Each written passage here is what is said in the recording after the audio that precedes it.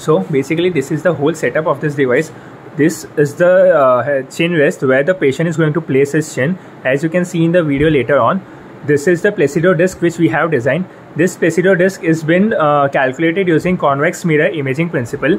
And this device we have provided for the left a movement of this placido disc. For the right eye uh, for the right eye this device will be moved to the right side. For the left eye this will be moved to the left part for uh, focusing the image we have provided a star we have provided here the distance imager wherein the whole device can move uh, back and for forward. On the back part we have provided the electrical connections and a hole. So at this hole you can either place a camera uh, or a camera or else you can place a mobile phone with a uh, android mobile phone with a good camera quality. So